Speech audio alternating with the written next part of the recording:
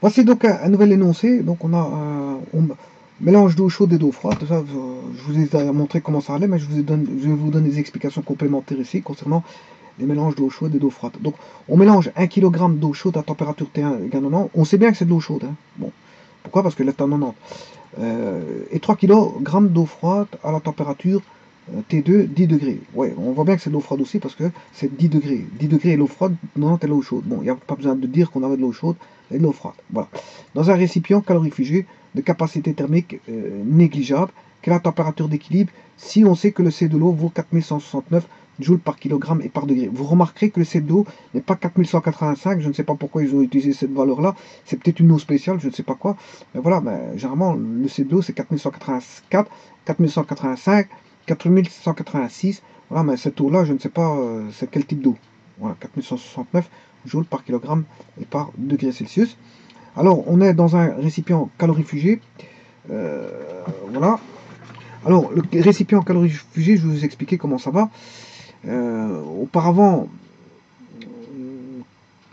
si vous voulez transporter de la, de la chaleur d'un point A à un point B, et c'est ce qu'on fait dans les habitations, on, transporte de la chaleur d'un point A à un point B. on peut la transporter de différentes manières. Hein.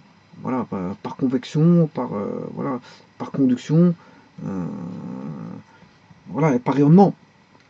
Voilà, c'est trois méthodes pour euh, faire transporter de la chaleur d'un point A à un point B. Bon, mais beaucoup de techniques nouvelles ont apporté des systèmes qui ont permis, je veux dire, le, rayonnement. Ben, ben, avant, ils n'avaient pas ça. Et même encore maintenant, qu'est-ce qu'on fait pour euh, faire circuler de l'eau? On, prend de l'eau. On prend de l'eau qui est un trans. On va mettre de la chaleur dans l'eau et on va faire transporter l'eau. Et l'eau va aller d'un point A dans, la conduite, qu'on appelle conduite, ou tube, ou voilà, ou canalisation, ce que vous voulez, d'un point A à un point B. L'eau va circuler dans une canalisation, dans un tube, dans, une conduite, euh, voilà, parce que l'eau va être conduite au travers d'un voilà, d'éléments qui va cheminer euh, voilà, le liquide. Ce qu'on appelle une conduite, une canalisation. Euh, et ça peut aller très loin. Hein. Euh, bon, une, conduite ramène un fluide d'un point A à un point B, que, ce soit un gaz ou un liquide. Bon, alors, le liquide, ici je vous dis tout de suite que c'est de l'eau. L'eau, elle est ici. Voilà. Et alors, on a la conduite. La conduite, elle est ici.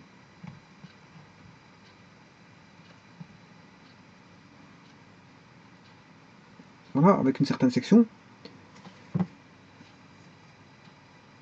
Et, bien sûr, ça circule, ceci circule, l'eau circule à l'intérieur d'une conduite.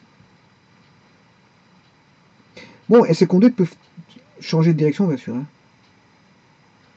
À travers des coudes, il existe des coudes à 45, des coudes à 90, voilà, différents types de coudes. Ce sont des éléments filetés. On met de, je veux dire, comment qu'on appelle ça, des, du chanvre euh, pour éviter les, voilà, pour avoir un bon raccordement euh, et qu'il n'y ait pas de, bien sûr de, de comment on appelle ça euh, de fuite. tout c'est pas qu'il y ait de fuite. Donc un bon serrage et bien sûr une étanchéité parfaite dans les systèmes de conduite de, de fluide que ce soit le, le gaz, il n'y a pas intérêt, surtout pour le gaz, il n'y a pas intérêt à avoir une étanchéité, à avoir une fuite, hein, parce que bon, je vous dis ça peut devenir mortel s'il y a des fuites, bon, l'eau, ça, va vous coûter de l'argent. Voilà. Euh, peut-être énormément d'argent, ça dépend ce qui a coulé. Je veux dire, je veux dire dans les pertes euh, d'eau, ce que vous avez perdu. Et donc, il faudra rembourser, enfin, payer, payer ce qui a été perdu. Alors que vous n'avez pas utilisé cette eau, mais comme il y a des fuites, ben, vous avez dû payer ces fuites-là. Bon, mais ça, il faut faire appeler un installateur pour qu'il vérifie votre installation complète et vérifie là où il y a des fuites. Parfois, les fuites, on ne les voit pas parce que c'est caché. Les tuyauteries sont on va dire, euh, cachés à travers les murs, euh, enfin, sont, sont imbriqués dans les murs, euh, ils sont encastrés, et on ne peut pas voir ces fuites-là. Si ce n'est que si on voit, bien sûr, des, plafonnages qui, ou des tapissés qui sont qui commencent à être humides, ben, on peut se dire qu'il se passe quelque chose. Mais généralement, si c'est des conduites vraiment qu'on ne voit pas, qui sont souterraines, ou etc., ça ne se voit pas. Et vous pouvez euh, perdre euh, pendant longtemps de l'eau jusqu'à un moment donné, il y a une méchante facture qui va arriver, il va vous dire écoutez, monsieur, vous devez autant. Mais oui, ben c'est parce qu'en fait, vous n'avez pas aperçu qu'il y avait une fuite quelque part. Voilà, il peut avoir des fuites partout et n'importe où. Euh, après compteur, on peut avoir une fuite. Mais s'il y a une canalisation ou compteur, parce qu'il existe encore maintenant des canalisations, euh, le compteur peut-être même à 30 mètres, hein, il n'y a pas toujours des, compteurs à l'intérieur des habitations, comme ça c'est moderne, mais avant il y avait il y a encore des anciennes habitations, les compteurs sont à l'extérieur. Il faut aller faire la lecture à l'extérieur d'un compteur dans un, voilà, dans un, appelle ça, dans une trappe. Euh, voilà, vous ouvrez une trappe, vous allez voir le compteur, ça existe encore à, cette époque-ci. Donc s'il existe entre les, les 100 mètres ou les 50 ou les 60 mètres d'une fuite, ben, c'est délicat. Voilà, c'est délicat parce que qui va payer ça euh, C'est quand la facture viendra que les gens vont commencer à se poser des questions. Comment ça se fait que le prix était si élevé? Mais C'est parce qu'il y a une fuite quelque part. Voilà, et il existe aussi des fuites bon, de beaucoup de choses. On peut avoir aussi des consommations de, ballons d'eau chaude, euh, des fuites de, de, robinetterie, des fuites de, euh, de simples fuites pour ramener à des grandes fuites. Des fuites, voilà, des fuites de, ce que vous voulez. Un chauffage central, des, des, fuites euh, voilà, de, de, WC. Bon, les fuites, on va dire que ça peut coûter au portefeuille. Voilà, ça dépend combien, combien de temps que ça a fuité, voilà. Quand c'est pas apparent, parce qu'il y a des fuites apparentes, là on appelle directement euh, voilà, les, professionnels nécessaires qui vont venir s'occuper directement de la fuite. Mais si c'est pas apparent, bon, euh, la personne peut, je veux dire, débourser énormément d'argent dans, euh, je veux dire, ou alors aller au tribunal, s'arranger au tribunal pour, pour essayer de s'arranger, pour, pour, essayer de, de, trouver quelque chose qui pourra faire en sorte que n'ait pas su voir ça, et que bon, c'est pas de votre sort, et que bon, voilà, etc., etc. Ça peut prendre une fois, au tribunal, peut, le juge peut vous euh, prendre votre défense, peut-être une fois, mais pas deux. Hein. Il vous dira la prochaine fois, faites attention.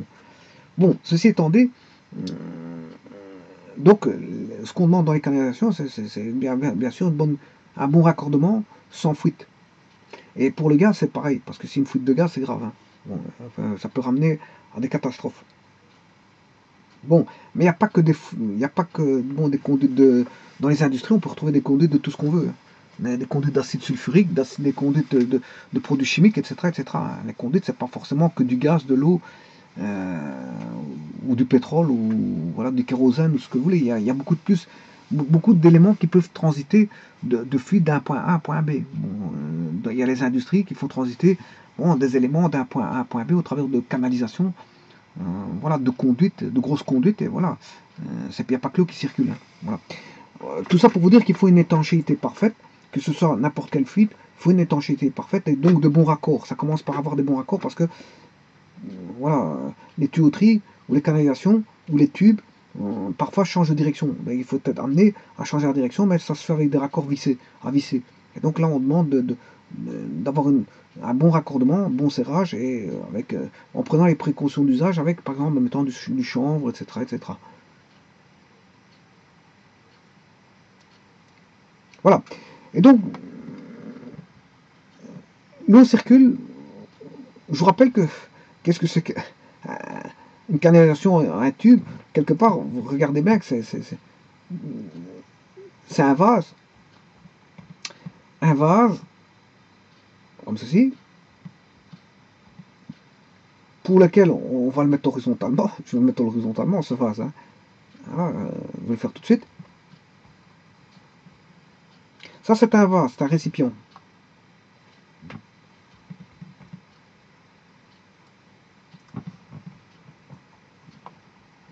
Je vais le pivoter en 90. Voilà, j'ai pris un vase. Hein.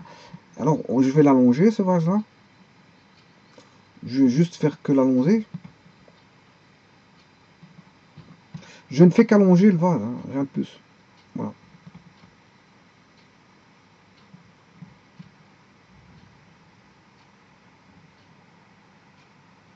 Voilà, j'ai allongé le vase. Voilà, eh bien, là, je viens de créer une conduite. C'est un vase mis à l'horizontale, bien sûr, pour lequel on peut faire circuler. Euh, on a une entrée quelque part, une sortie de l'autre côté. Voilà. On peut faire rentrer, si vous voulez, un fluide qui va rentrer ici et qui va avoir une circulation dans ce sens-là. Ou, inversement. Hein. On, peut, bien sûr, vous allez me dire, ouais, ben, c'est pas forcément comme ça, bien sûr.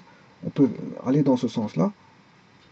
Mais on peut faire aussi stagner un liquide euh, dans la conduite. Hein. Il n'y a pas forcément de circulation, on peut avoir une circulation comme il peut être statique ou, soit statique ou mobile. Voilà, le fluide peut circuler à l'intérieur de, la conduite. Voilà. Alors euh, maintenant, si on, on, veut étudier un fluide, euh, qu'est-ce qu'on fait? Ben, On prend une portion et on étudie ce qu'on appelle voilà. Un tube de courant dans le fluide. Alors, on peut étudier son débit, sa vitesse, euh, tout ce que vous voulez. Tout comme euh, on peut, dans une canalisation électrique, étudier, euh, voilà, en prenant un fluide, enfin, un, comment qu'on appelle ça Un tube de courant, étudier la densité de courant, ou le courant, ou le courant lui-même. Donc, le tube, c'est quand on a une circulation, si vous voulez, de quelque chose. Si effectivement on a une circulation soit d'un fluide ou soit la circulation d'un courant dans une canalisation électrique. Donc on, appelle ça tube, tube de courant. donc les tubes de courant sont fort utilisés en, en, mécanique des fluides, mais on l'étudie aussi en, électricité. Bon, ceci étant dit, je vous ai pris donc une canalisation. Et qu'est-ce qu'on faisait avant? Bon, euh, bien sûr, c'est de l'eau chaude qui qui, a dans une canalisation, soit de l'eau chaude sanitaire ou soit de l'eau chaude de chauffage qui va circuler. Le tout, c'est d'éviter les pertes de chaleur. Donc, qu'est-ce qu'on faisait avant? On mettait, on calorifugeait, je ne sais pas si on fait encore ça maintenant, probablement, on, peut calorifuger, suivant à la demande du client, euh, voilà, par des matériaux euh, qui, feront isolant, de façon à maintenir euh, la chaleur du voilà, c'est d'avoir le moins de perte de chaleur. Avoir le moins de perte de chaleur. C'est-à-dire, c'est comme si j'avais un vase, hein, je vais vous mettre le vase, je vais mettre un vase, euh, je vais mettre un vase avec de l'eau. Voilà. Et ce vase-là, pour éviter les pertes de chaleur, ben, je vais le calorifuger. C'est-à-dire que je vais l'isoler complètement avec un matériau calorifuge. C'est un matériau calorifuge voilà, qui va être tout autour de, euh, voilà, du vase d'eau pour maintenir la chaleur au maximum. Alors, par exemple, le, calorifugeage, ben, on avait avant, euh, on calorifugeait avec euh, voilà, des matières qui étaient fortement dire, isolantes. Je, pense à l'amiante. L'amiante était fortement utilisée avant. l'amiante, c'est le problème, c'est dangereux pour. ça peut créer des maladies pulmonaires. Euh, voilà, l'amiante, euh, on a des fibres d'amiante. Quand on casse l'amiante, quand on la manipule, quand on, voilà, on brise, on fore, on visse, euh, voilà, on fait un usinage d'amiante, fatalement, il y a des fibres qui vont partir. C'est de la poussière d'amiante. Donc dans ces poussières d'amiante, il y a des fibres. Les fibres peuvent se coller au poumon, et comme elles sont microscopiques, elles peuvent venir se coller à l'intérieur du poumon, s'insérer dans le poumon, et à un moment donné, euh, voilà, irriter le poumon. Euh, euh, à force d'irriter, ben, ça crée des. Voilà, ça dépend les doses qui ont été ingérées, bien sûr, de, voilà, de, de, fibres. c'est pas avec une fibre qu'on va mourir d'un cancer pulmonaire. Vous comprendrez que les personnes qui ont travaillé dans les, voilà, l'amiante, c'est beaucoup ceux qui ont été, je veux dire, beaucoup en contact avec l'amiante. Hein. Les vêtements, ils transportaient de, l'amiante chez eux tous les jours dans, dans leurs vêtements voilà, dans leur alimentation. Euh, euh, voilà, l'amiante, ce sont des fibres minuscules qu'on ne voit pas, microscopiques. Et donc, euh, ça circulait, je veux dire, jusqu'à chez eux. Et ils étaient en contact quasi en quotidien avec l'amiante. Ils foraient l'amiante. Et, là, à ce moment, on peut comprendre qu'à un moment donné, ben, le, poumon ne supporte plus, je veux dire, voilà, la quantité de fibres qui a été ingérée. Hein. Le, le, poumon, les poumons, tout le long du, de la bouche jusqu'au poumon, on a un excellent appareil de, on va dire de, qui permet de, faire de, du filtre, mais le filtre a ses limites. Hein.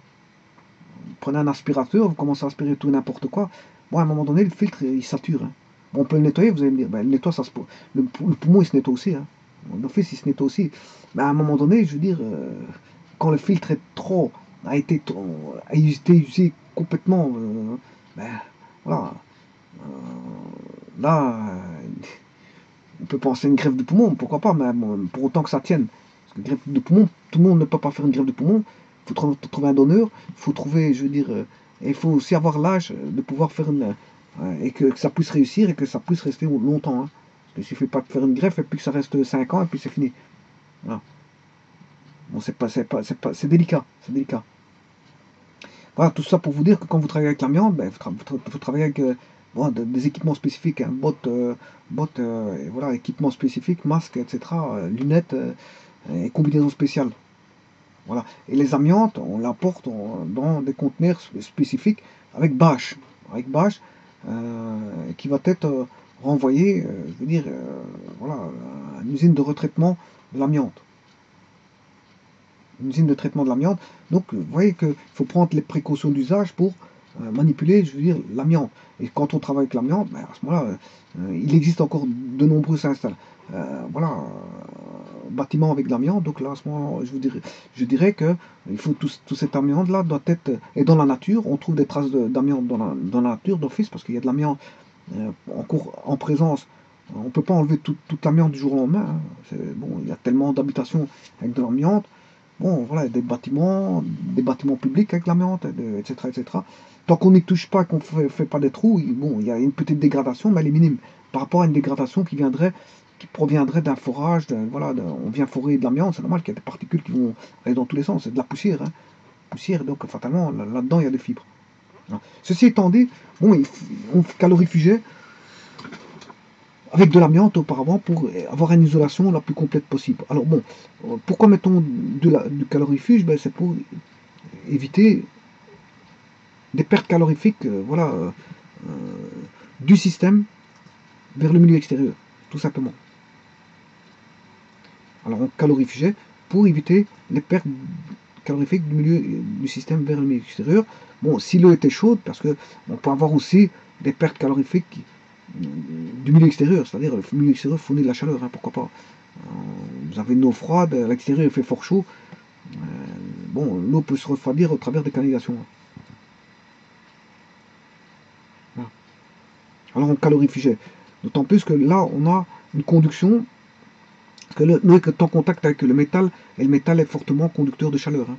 et d'électricité aussi, mais ici je parle de chaleur, donc euh, il va absorber de la chaleur, le métal, provenant de l'eau. Bon, mais ici justement j'ai un, comment appelle ça? Une remarque à faire par rapport à l'énoncé, c'est que justement, dans un récipient calorifuge, oui, de capacité thermique négligeable. Bon, ça veut dire calorifuge, ça veut dire quoi? Ben, Ça veut dire qu'on n'a pas de perte avec le milieu extérieur, c'est ça que ça veut dire. Hein. Il n'y a pas de perte avec le milieu extérieur, donc il n'y a pas de perte à tenir en compte. Avec le milieu extérieur.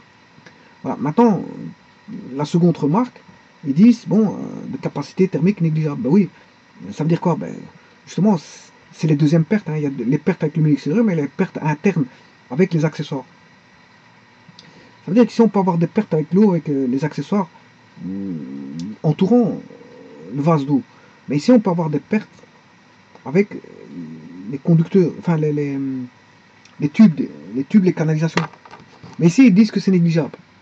Alors, si on devait prendre en compte ces pertes-là, mais on, fait un M plus mu, où ça, c'est la masse équivalente d'eau qui serait, voilà, les pertes, les pertes, les pertes dues aux accessoires, les pertes de chaleur dues aux accessoires.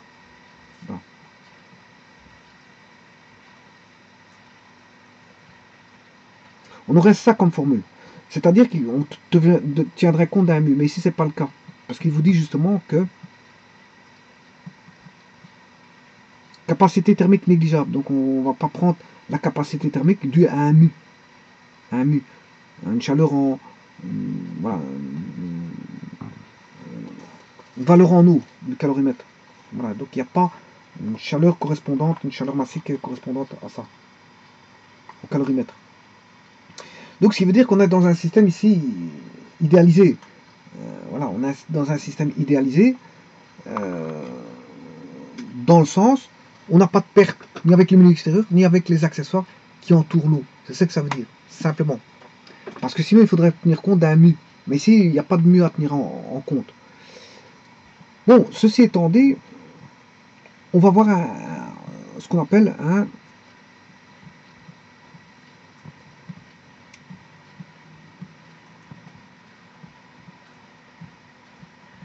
un mélange thermique. Alors, on a un sous-système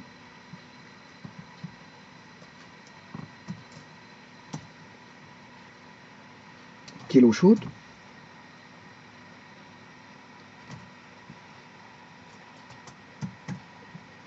Et un sous-système qui est l'eau froide.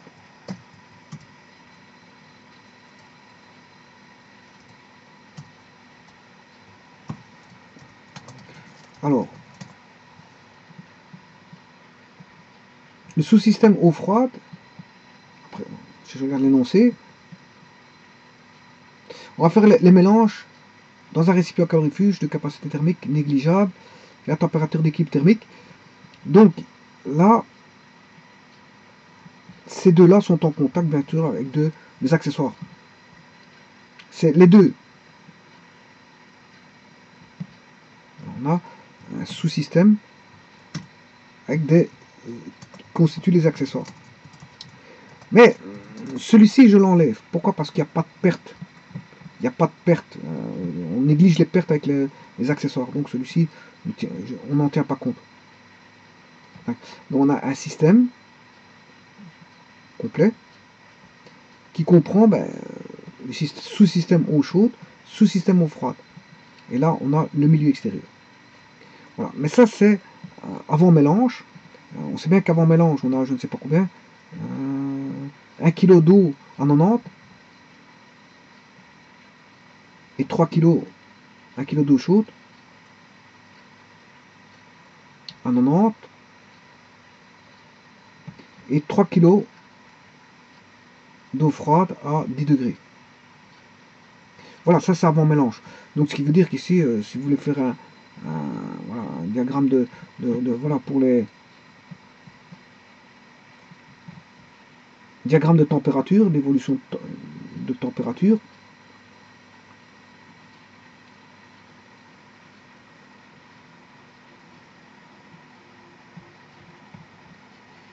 On a la température d'eau chaude qui est T2. T2 est égal à 90 euh, degrés Celsius.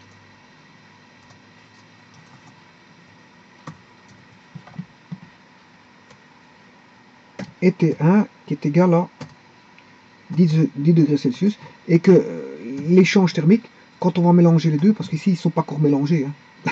quand je mets T2 égale 90 et T1 égale 10, ils ne sont pas encore mélangés, c'est-à-dire j'ai le système, j'ai les sous-systèmes qui sont comme ceci, hein, présents comme ceci. J'ai ceci séparément avec ceci. Maintenant, quand je, fais le mélange, là, à ce moment, je, je crée qu'un seul système qui va regrouper ces deux systèmes-là.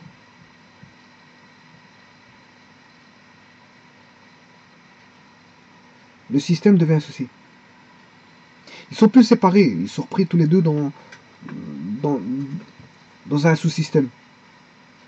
Le sous-système va être composé, voilà, et là à ce moment-là, on n'a pas, pas de température séparée. Déjà, euh, le mélange il fera 4 kg, hein, parce que si on a 1 kg euh, plus 1, 3 kg, le mélange il fait 4 kg. Voilà. Euh, mais c'est pas comme ça qu'on étudie, hein. on ne fait pas un mélange comme ceci. Je vais vous montrer euh, qu'on ne fait jamais un mélange euh, en faisant 1 plus 3 kg. Hein. Parce que, pourquoi on ne fait pas un mélange 1 plus 3 kg Parce qu'en fait, justement, l'astuce de la calorimétrie, c'est ça. C'est prendre en compte, comme si on avait le corps là tout seul, l'agissement du corps là tout seul, et main, enfin plutôt M2, la masse d'eau chaude, toute seule, avec sa, avec sa variation de, température par rapport à une température d'équilibre. C'est comme s'il agissait tout seul. Et l'autre, c'est comme s'il agissait aussi tout seul. Aurait M1. Euh, voilà. Bien sûr, on a affaire à de l'eau. Hein. L'eau, c'est C0. C'est C0 de l'eau. Voilà. Pour l'un ou pour l'autre, c'est C0. On a de l'eau. Sur la massique de l'eau, c'est 0, c'est 4,18. Hein. Mais ici, ils ont pris 4,169. 4169. Euh, voilà. 4169, euh, bien sûr, joules par kilo, euh, bon, ça fait...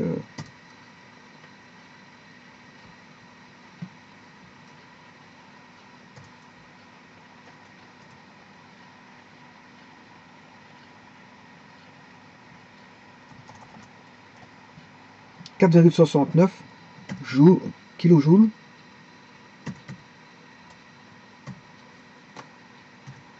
par kilogramme par degré, mais c'est aussi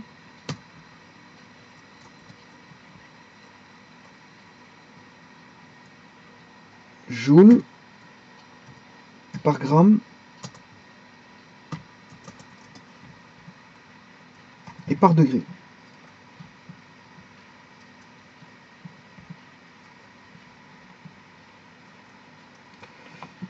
Voilà, et ça c'est la capacité d'eau. Bon, ils ont pris 4169, je ne sais pas c'est quoi comme type d'eau. Voilà, d'habitude c'est 4184, 4185, 4186.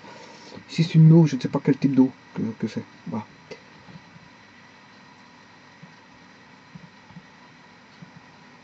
Bon, alors je vous disais que le traitement de ça, c'est comme si on avait séparément M2, c'est comme si on avait séparément M2, et c'est comme si on avait séparément M1. Alors on va, on va se dire que euh, bon, l'eau chaude va fournir sa chaleur euh, à l'eau froide. On aura un delta Q comme ceci. L'eau chaude va fournir la chaleur. Ce qui veut dire que l'eau froide va recevoir la, chaleur de l'eau chaude. Donc le sous-système eau chaude va fournir de la chaleur au sous-système eau froide. Et le sous-système eau froide va recevoir la chaleur du sous-système eau chaude. Bon.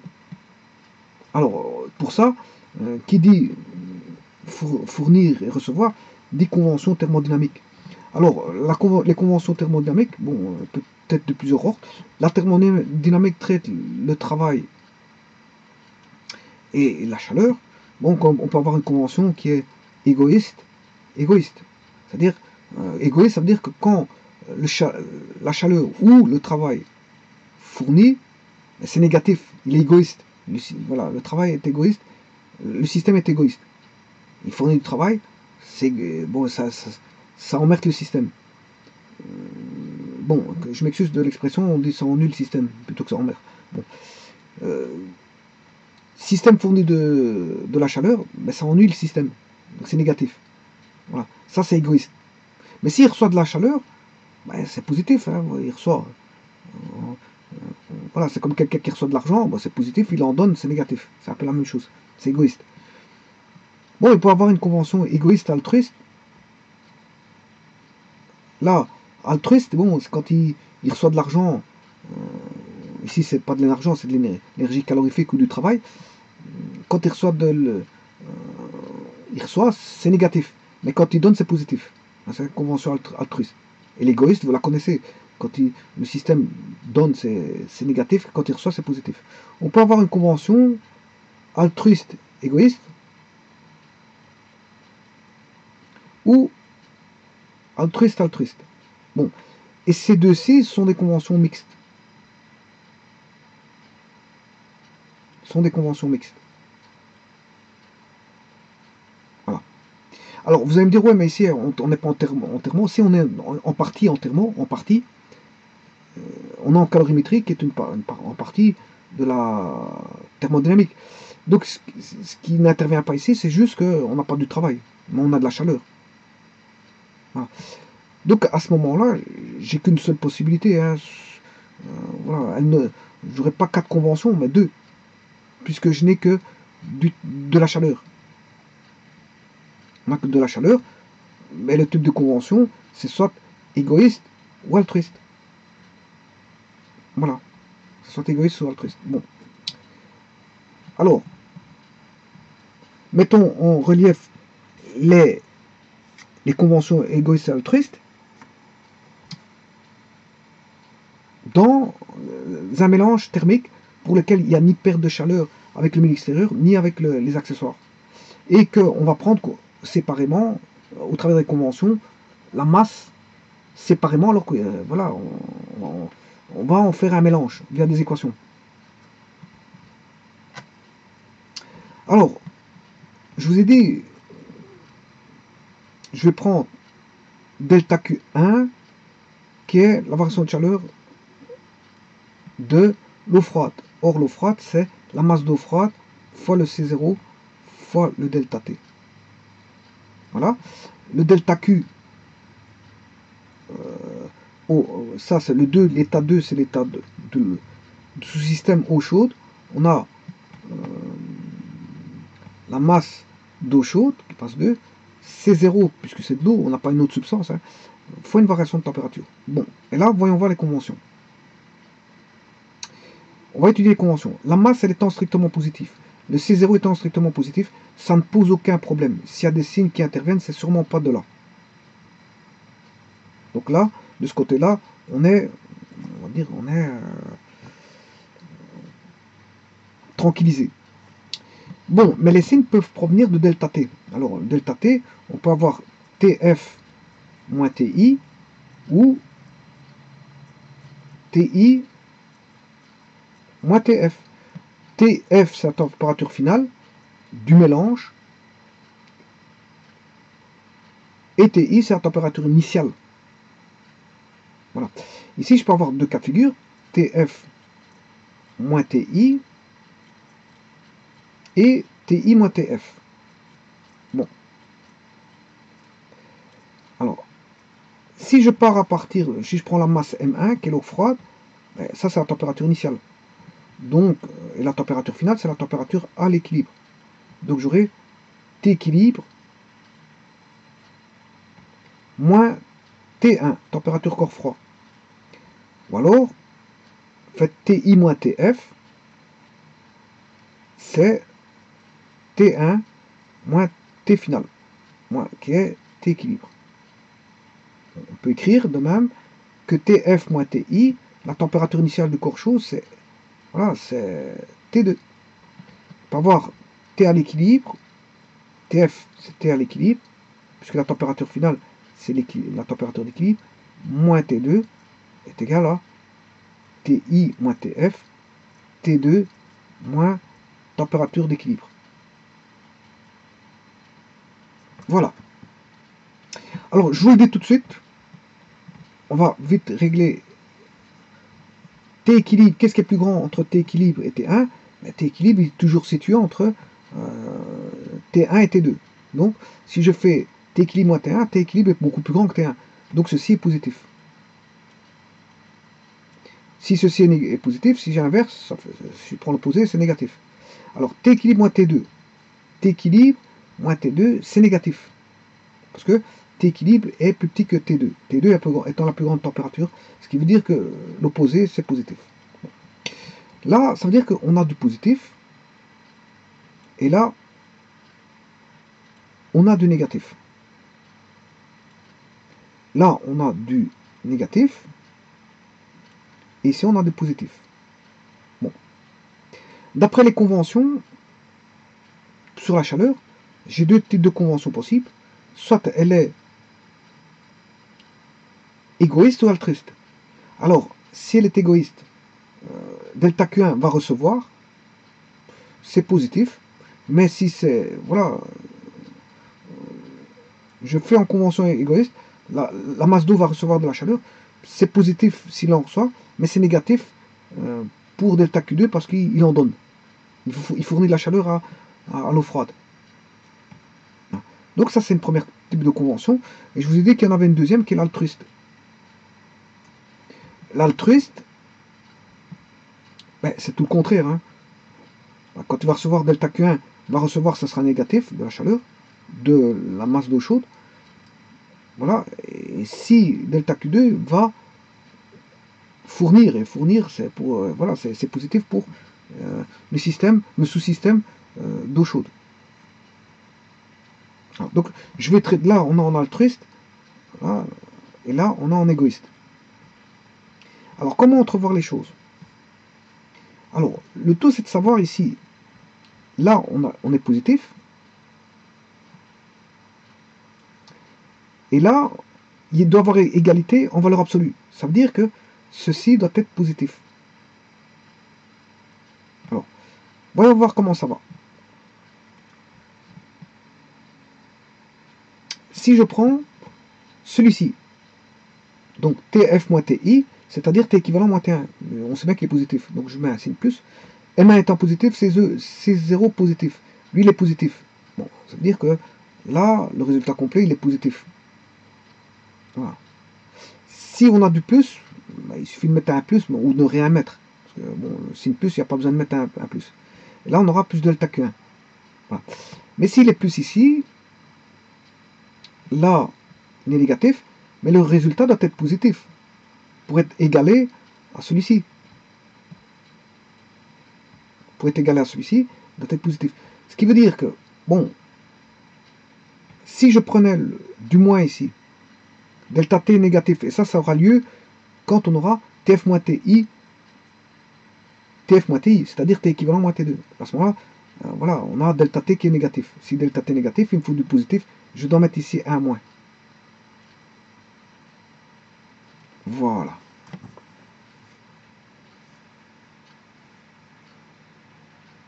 Voilà.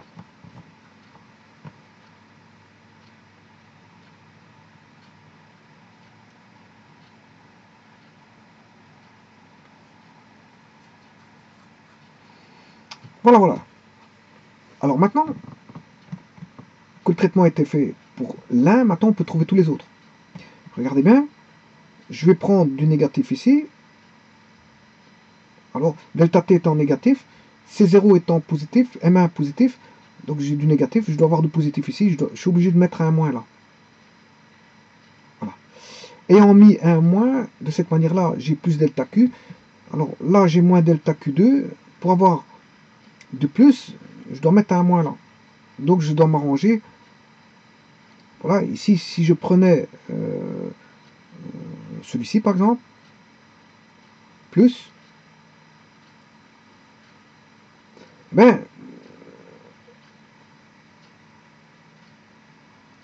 là il est plus, delta t positif, donc pour avoir un moins, il faut mettre un moins ici.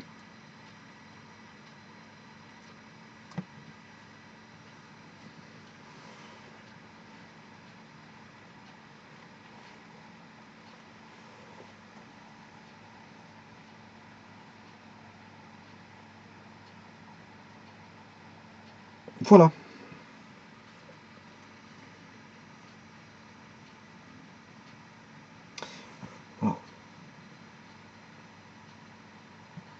Donc, je vous ai montré qu'en prenant celui-là et celui-là, à ce moment-là, il faudra mettre un, un plus ici et un moins là. Voilà. Mais je vous ai montré qu'en prenant celui-là et celui-là, je peux mettre, je dois mettre un moins ici et un moins là.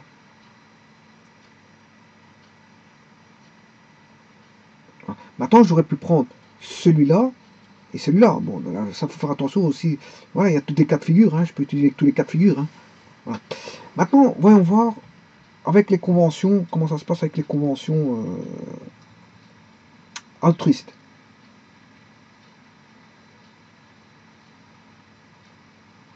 Bon, je vais quand même vous faire un cas de figure ici. Euh, je prends le plus, je vais prendre celui-là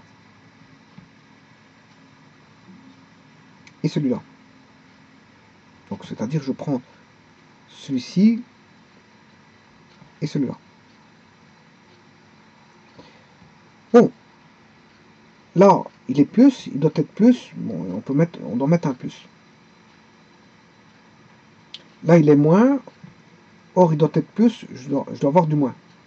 Or ici, j'ai pris plus, pour avoir du moins, je dois mettre un moins. Voilà.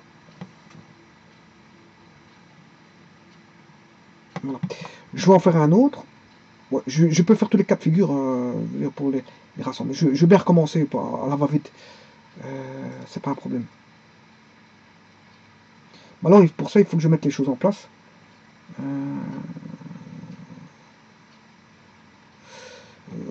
je vais mettre les choses en place pour éviter certaines euh, trop d'informations.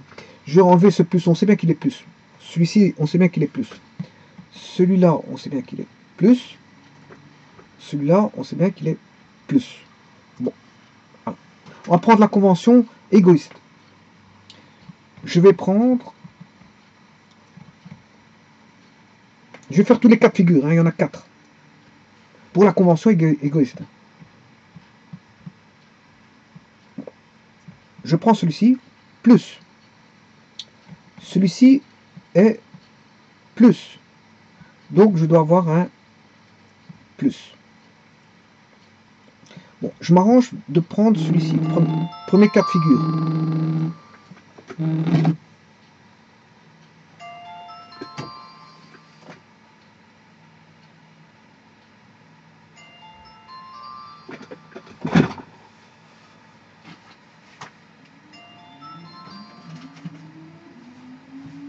M'excuse. Hein. Ah, vous avez entendu ça sonner. Bon, je, reviens à vous. Ce que je disais, donc, euh, j'ai pris le plus ici et le moins là. C'est un cas de figure. Delta T négatif ici pour le corps chaud. Et delta T positif pour le corps froid. Donc je, je, je, dois mettre un plus ici pour avoir du plus ici. Bon. Et pour avoir du plus ici, celui-ci étant négatif, parce qu'on sait bien qu'il fournit, par la convention égoïste, quand il y en a un qui est plus, l'autre est négatif, euh, à ce moment-là, je dois avoir du plus, ce qui veut dire que là, comme il est négatif, on doit avoir du moins. Parce que ici, je dois avoir du plus. Hein. Parce que là, il est positif. On a un moins. Voilà. Et comme les deux doivent être en valeur absolue égale, euh, voilà, c'est positif. Parce que lui, est positif. Je dois m'arranger pour avoir du positif ici. Pour avoir l'égalité. Donc, voilà. Ce qui veut dire que euh, pour avoir du, plus, il faut que... Euh, il faut que j'ai du plus. Coûte que coûte. Or, on a pris du moins. Pour avoir du plus, il faut un moins. Voilà. Voilà.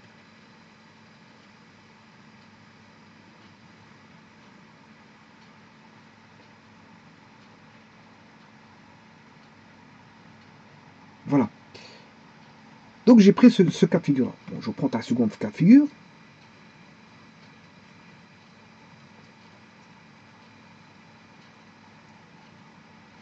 Je vais prendre celui-là, mais cette fois-ci, non plus celui-ci, mais celui-là. C'est un deuxième cas de figure.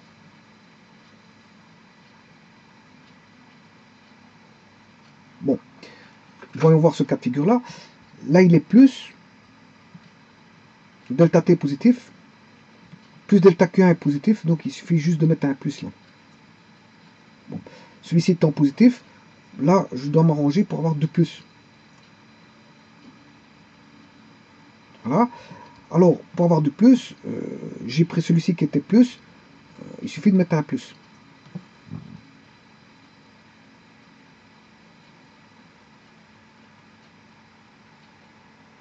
Voilà. Ça, c'est le deuxième cas de figure.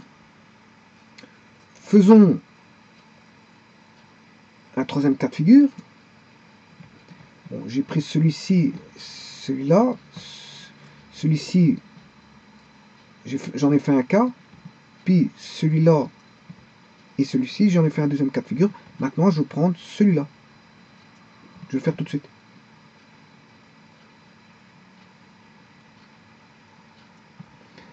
Donc je prends cette fois-ci ce cas-là et ce cas-là, ce qui fait un troisième cas de figure.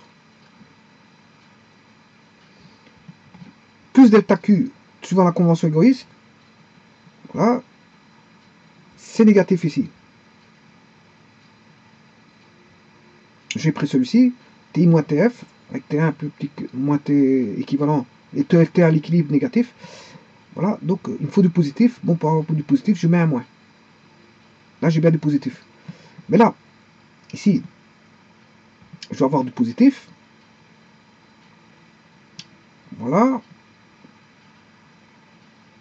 Donc, je prends le négatif ici. Pour avoir du positif, je dois mettre du négatif. Voilà. Je dois avoir du négatif ici.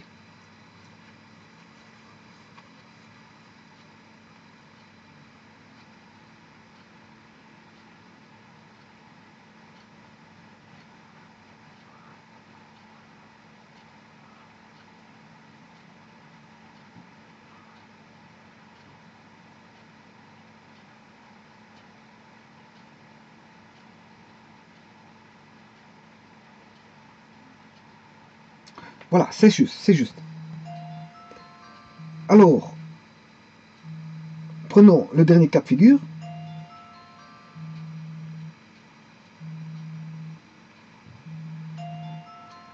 Alors, le dernier cas de figure, c'est TI-TF. Bon, je prends TI-TF. Je prends ce cas-là et ce cas-là. Avec la convention égoïste, bien sûr. Hein. Là, euh, je vais mettre... On doit avoir du positif.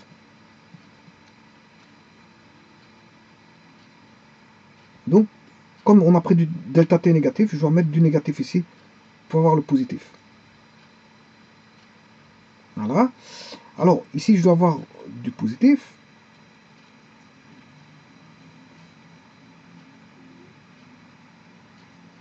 Mais j'ai pris ceci, donc il faut mettre un plus.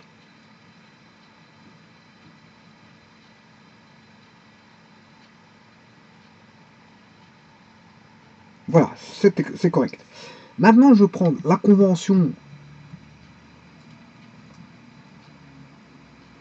altruiste et non plus la convention égoïste. Euh, voilà, je, je, vais prendre cette convention aussi.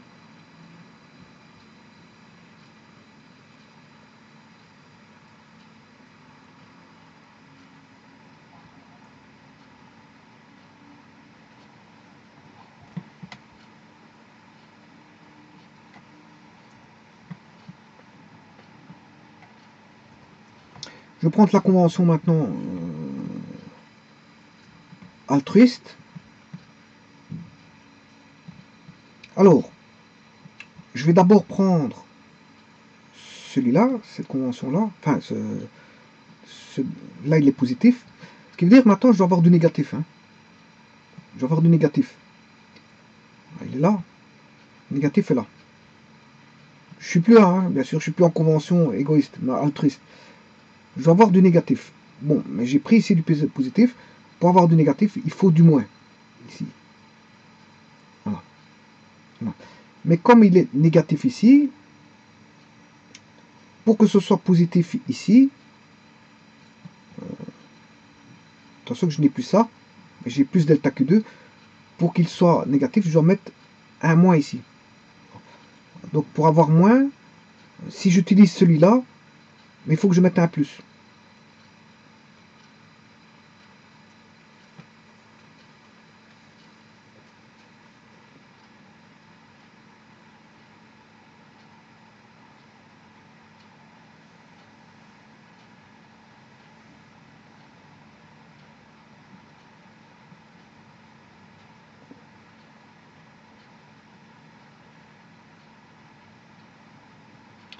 Voilà.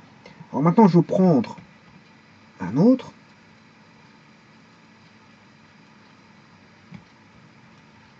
Celui-ci, je vais l'effacer parce qu'on j'en ai plus besoin. Par contre, il faut que je ramène ça tout près. Parce que je suis en convention altruiste. Voilà. Les signes sont là.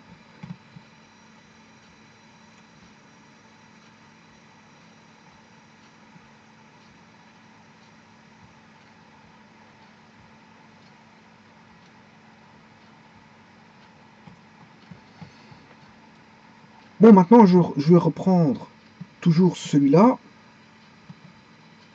Celui-là. Je vais remettre le signe hein, parce que c'est un, petit peu effacé.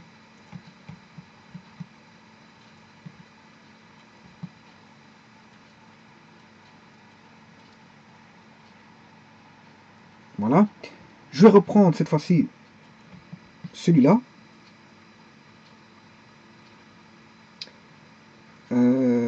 Et celui-ci, j'ai déjà pris.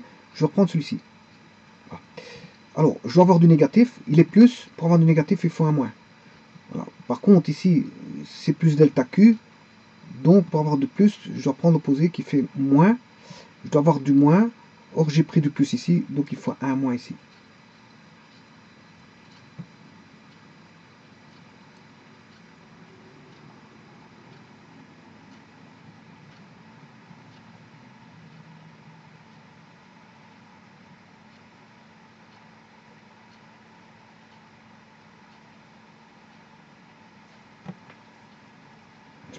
Espérant que je ne me trompe pas là. Euh,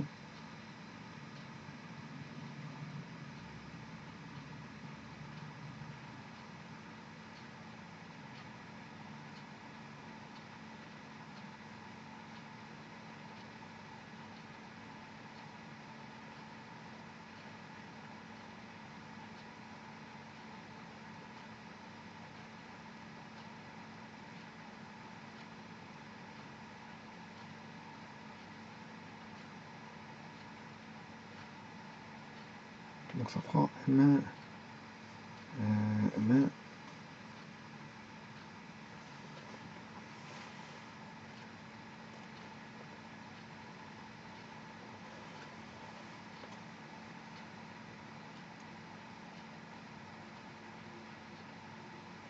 Oui, donc c'est juste, c'est juste. Bon.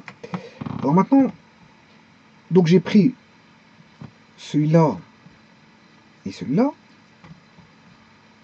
Ensuite, maintenant, je viens de prendre celui-là et celui-là, deuxième cas de figure. Maintenant, je vais faire un troisième cas de figure. Je vais reprendre celui-là et celui-là.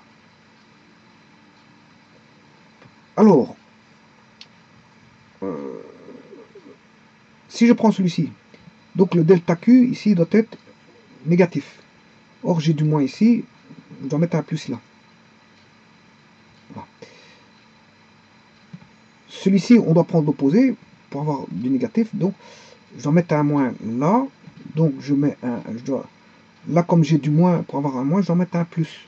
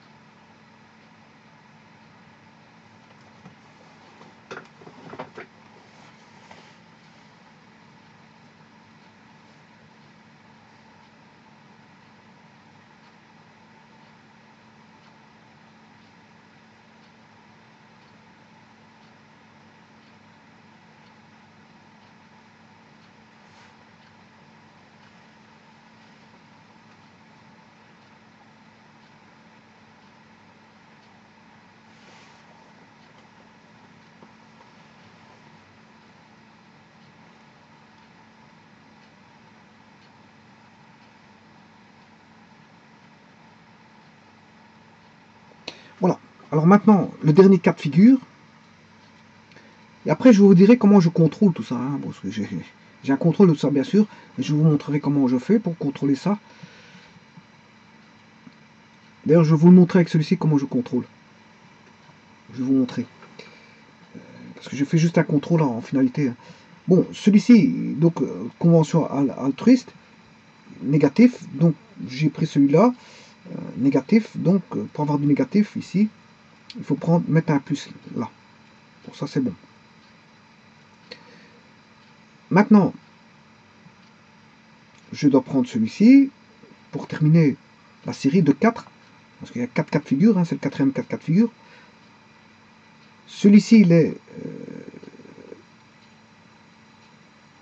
positif.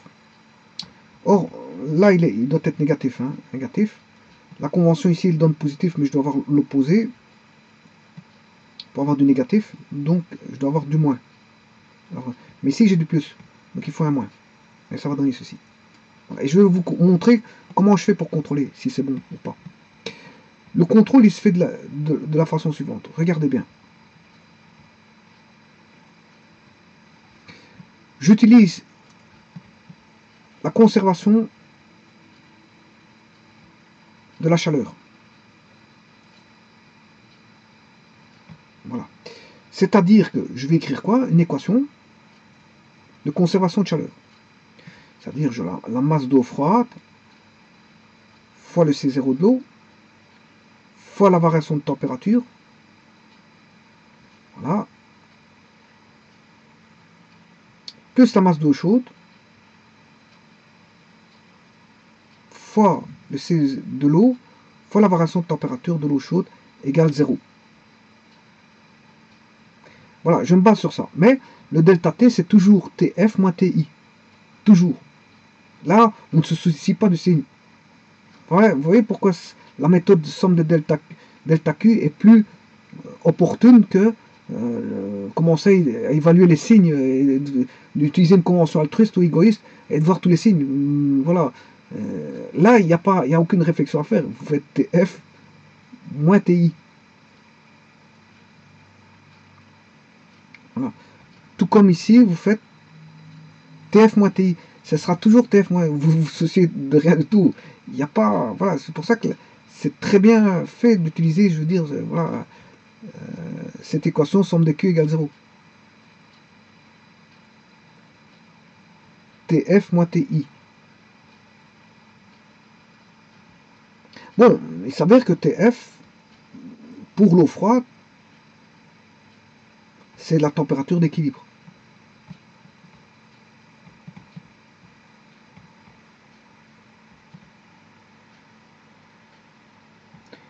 Et pour l'eau chaude, le TF, c'est aussi la température d'équilibre.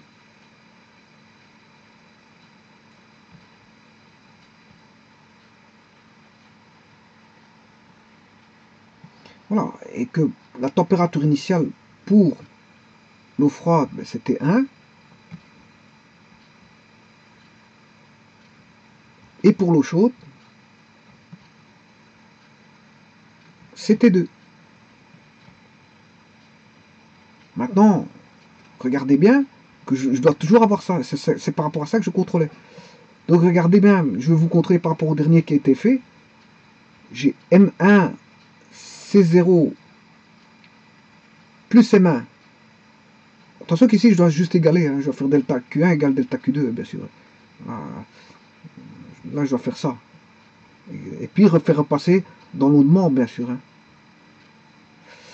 Voilà. Bon, donc ici j'ai je vais faire en bas. Je vais faire ici. Delta Q1, ben, il vaut M1 C0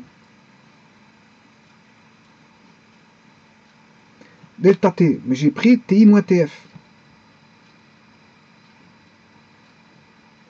TI, c'est T1 moins TF qui est la température d'équilibre.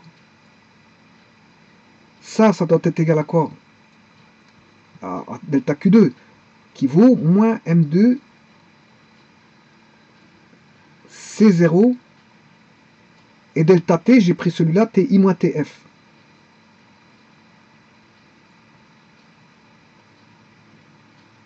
Voilà. Avec un moins ici.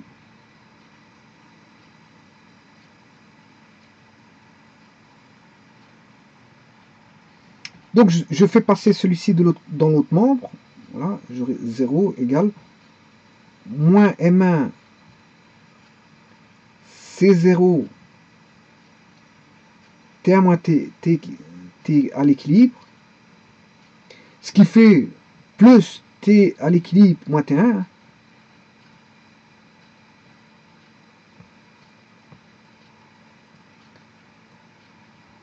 Moins M2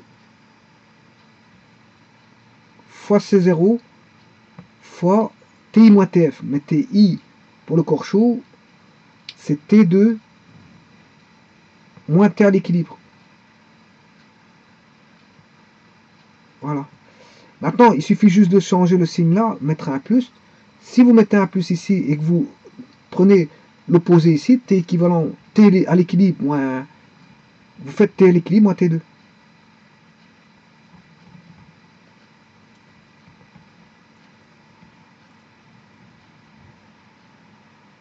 à l'équilibre moins T2. Et vous aurez toujours l'équation que je vous ai mise là-bas au-dessus.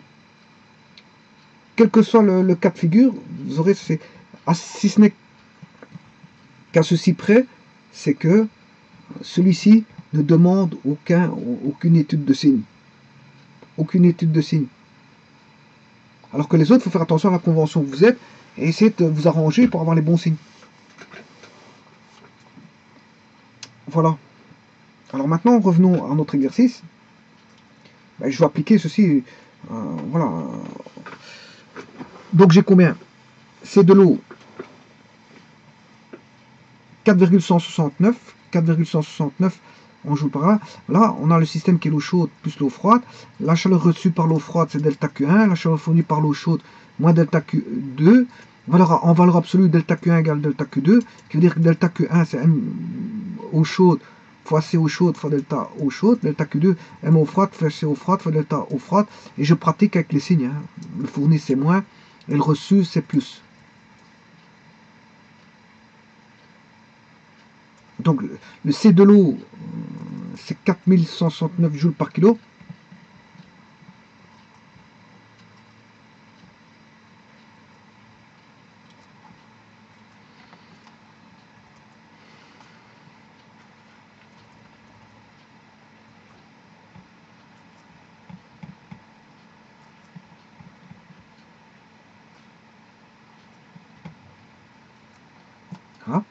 Delta Q1 avec un moins, euh, c'est une fois 4169.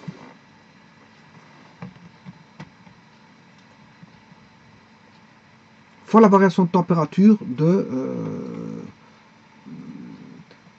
T initial. Attention qu'ici, c'est quelle convention? Attention à ça. Donc regardez bien.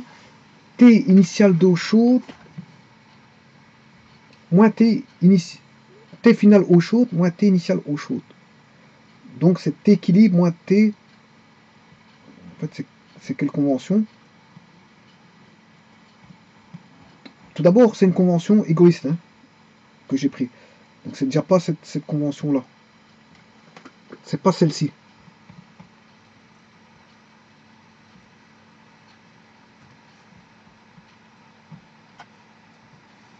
C'est une convention égoïste que j'ai pris. Donc euh, là, il y a un moins.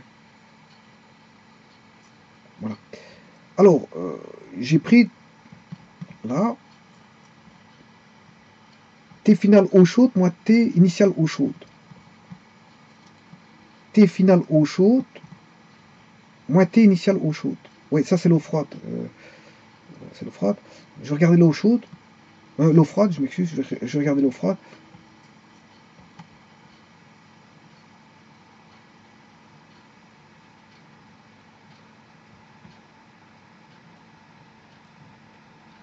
mais ici, il y a un petit problème parce que les dénominations. Delta Q1, c'est l'eau froide. Delta Q2, c'est l'eau chaude. Donc delta Q1, ça ne saurait pas être l'eau chaude, mais l'eau froide. Donc il y a un petit inversement. Inversement, que je vais régler tout de suite. Puisque delta Q1, c'est plutôt l'eau froide. Là, on va faire l'eau froide. Voilà. Masse d'eau froide fois la cellule de l'eau froide fois la variation de température d'eau froide. Et là, on a affaire à l'eau chaude. Voilà. Alors, euh, pour respecter la convention, l'eau froide reçoit, c'est négatif. Parce que sinon, si je fais pas ça, c'est une convention altruiste. C'est négatif pour... Euh, euh, voilà. Pour l'eau froide. Voilà, et c'est positif pour l'eau chaude. Sinon, je suis dans une convention altruiste. Or, ici, j'ai choisi une convention égoïste. Voilà. Moins euh, delta Q, voilà, je suis dans une convention où on va mettre un moins ici et un plus pour l'eau chaude. on est dans une convention égoïste. Ça, c'est la convention égoïste. Voilà. Alors maintenant, voyons voir la, suite. Alors, les delta Q doivent être en valeur absolue égale. C'est ce que je vous ai marqué là-dessus. ça veut dire s'il y en a un qui est négatif, pour le rendre positif, l'autre, il faut prendre l'opposé. C'est ça. C'est pour ça que je prenais chaque fois l'opposé de l'autre. Alors, delta Q1, c'est masse d'eau voilà, euh, masse d'eau froide, ça on le sait. Voilà. Le C de long, on le connaît. Alors, le fourni,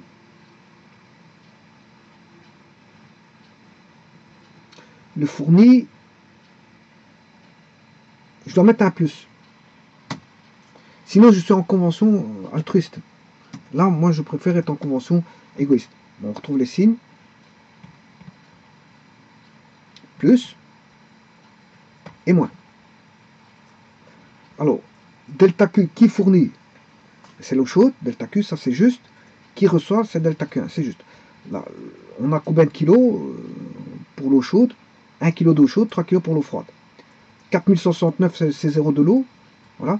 Et là, delta Q, c'est delta eau chaude. Voilà. Là, là, on est bon.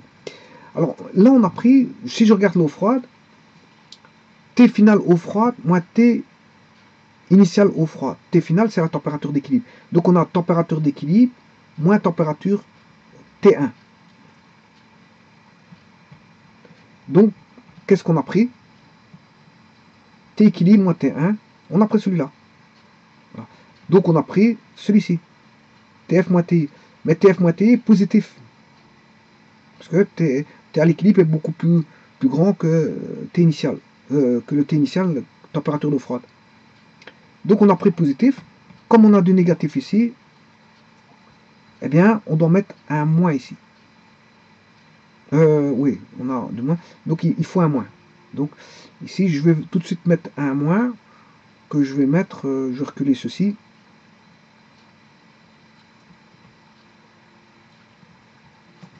CTRL X. Voilà. voilà. Et alors,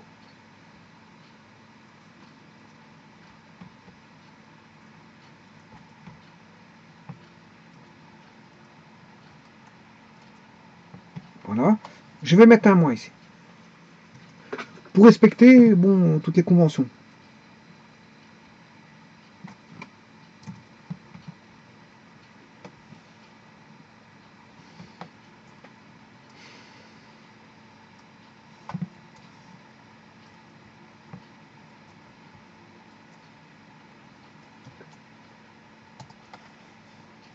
Voilà, ça c'est mon signe participe, je veux dire, euh, dire euh, celui-ci, il est positif, T au, final est plus grand que T initial, donc il est positif. Donc là, pour avoir du moins, je dois mettre un moins là. Voilà.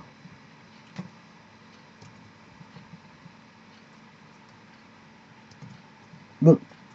Mais maintenant, on a vu que quand on mettait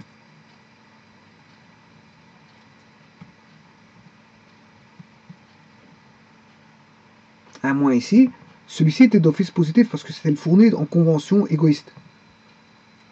Quand on mettait du moins en convention égoïste ici, ben, d'office l'autre côté c'est l'opposé, on a plus. Mais en, valeur absolue, ça doit être le même. Comme celui-ci, bon, il est négatif, et celui-ci positif, pour qu'il soit identique, ben, il faut que celui-ci, delta Q, soit négatif. Delta Q2 doit être négatif. Or, qu'est-ce qu'on a pris? Qu'est-ce qu'on a pris ici? Température finale moins température initiale qui est négatif. Ça, c'est négatif.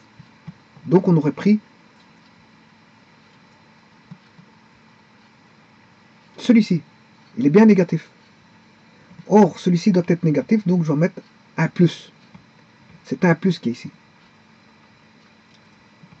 On doit avoir un plus. Puisque celui-ci doit être négatif, on a plus delta Q2 doit être négatif. Voilà. Donc, mais comme j'ai du négatif ici, ben, je dois mettre un plus par moins donne du moins. Un plus par moins donne du moins. Donc, c'est bon. On est dans le bon. Ce qui veut dire que là, il y a juste un... Donc celui-ci donne du négatif. Je dois avoir du négatif pour delta Q2. Plus delta Q2 doit être négatif. Donc, comme celui-ci, il est euh,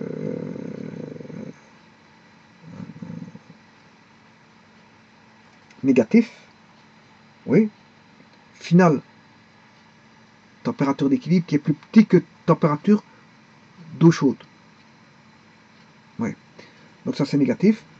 Or, plus delta Q2 doit être négatif. Donc c'est bien un plus. Voilà, c'est résolu. Alors maintenant, je vais contrôler.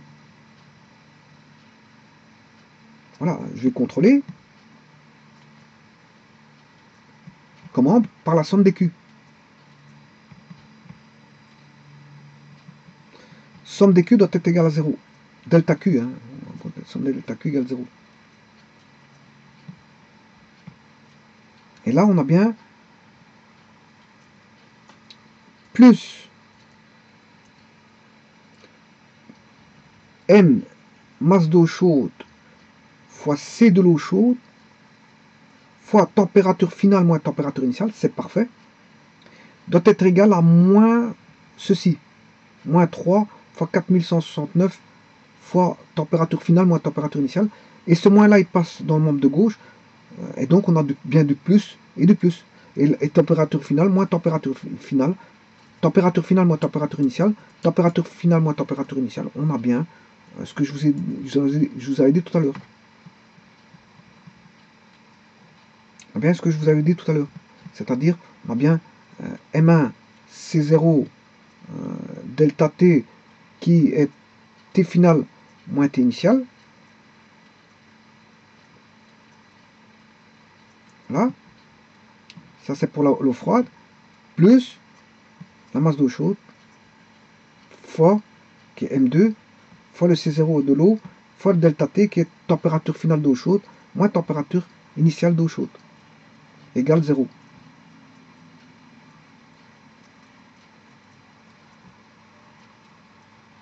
Attention qu'ici c'est température initiale eau froide. Hein. Et là, c'est température initiale eau chaude. Voilà, donc c'est bon, tout est bon. Au niveau des signes. Donc vous pouvez vous amuser, hein, prendre une convention altruiste, égoïste, etc. Mais ça nécessite euh, bon, de faire attention, très attention aux signes. Alors que bon, quand vous faites somme de delta cube, il n'y a aucune. Vous faites température finale moins température initiale, et vous aurez de la bonne réponse directement sans se soucier des signes. Bon, après, bon, pour trouver la température d'équilibre, voilà, c'est la température finale du... Euh,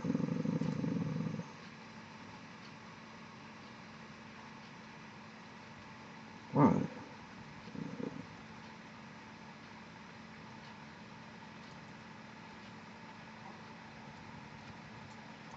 Maintenant, on peut calculer, hein, bon, c'est voilà.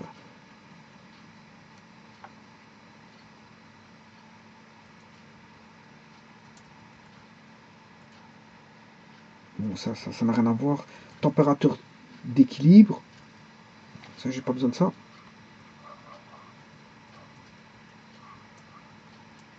Voilà. Alors, le fourni,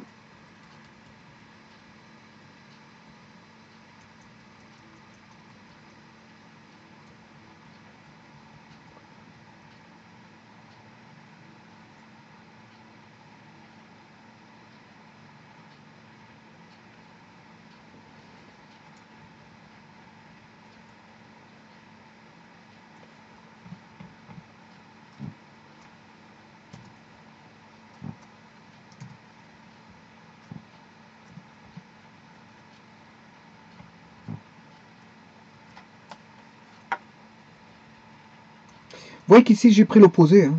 moins delta Q2, pourquoi pas. J'ai repris l'opposé. Je peux faire ça. Hein.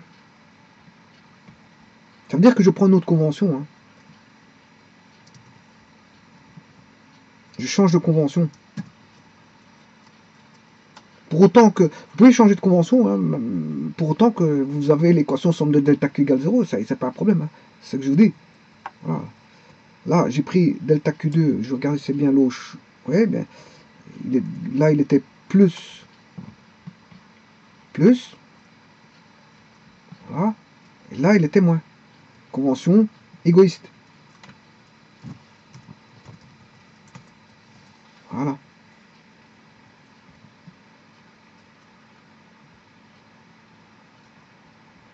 Là, moins, c'est altruiste.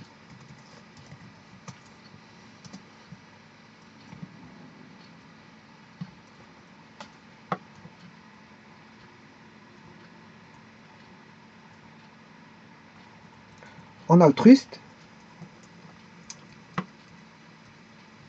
Mais en altruiste, je peux le refaire. Hein.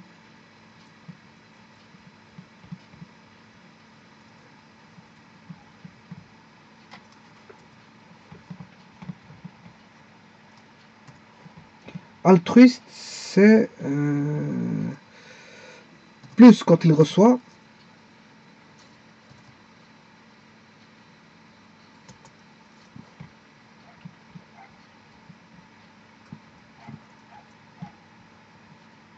Je vais le faire en altruiste.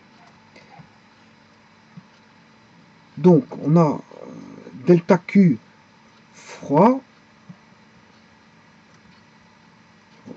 Voilà, le froid va recevoir. En altruiste, recevoir, c'est négatif. Voilà, et c'est positif euh, pour celui qui fournit. Qui fournit. voilà, système fournissant, c'est positif. Alors là, on a un delta T qui est euh, je vais regarder tout de suite par rapport à quoi j'ai pris les delta T. Pour l'eau froide, pour l'eau froide, c'est delta Q1. T équivalent moins T initial eau froide. T équivalent, c'est le T final. Donc, pour l'eau froide, c'est T final moins t initial. Mais le final est beaucoup plus grand que l'initial. Ceci étant, étant positif, donc delta t étant positif, or il me faut du négatif, je dois mettre un moins là. Donc il y a déjà ça à faire, il faut mettre un moins. Donc il y a un moins à prendre ici, à prendre en compte ici.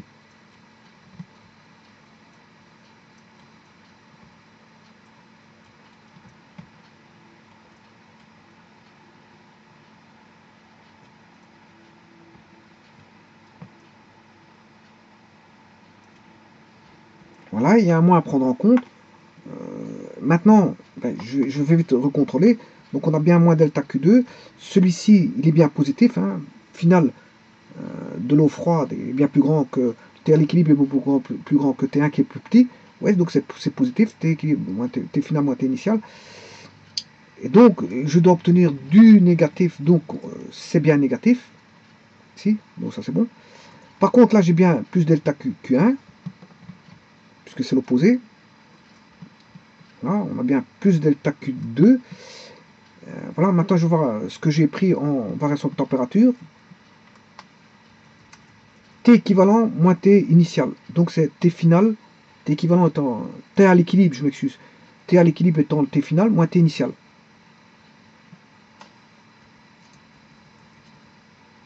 Ah mais attention qu'ici je me suis trompé, ça c'est l'eau chaude. C'est l'eau chaude, je m'excuse.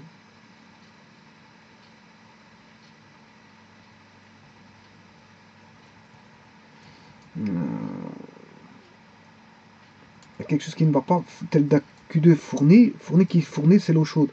Donc là, c'est bien euh, l'eau chaude en altruiste. Euh, l'eau chaude, c'est bien 1 kg.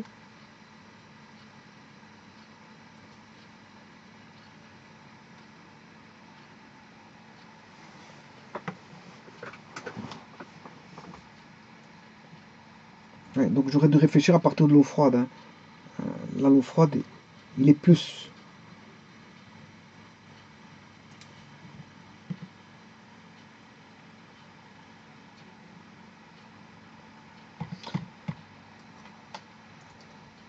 Il reçoit, c'est négatif. Recevoir, c'est négatif, c'est plutôt là qu'il est altruiste.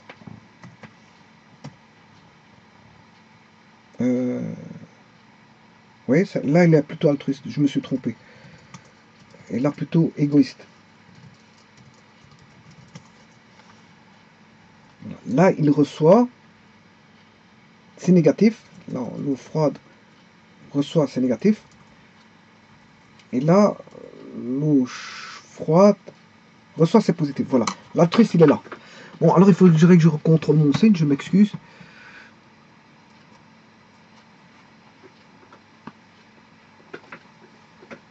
Bon, tout d'abord, je regardais ce que j'ai pris. J'ai chaque fois pris euh, T final moins T initial. Hein. T final moins T initial pour l'eau chaude. T final moins T initial pour l'eau froide. T final moins T initial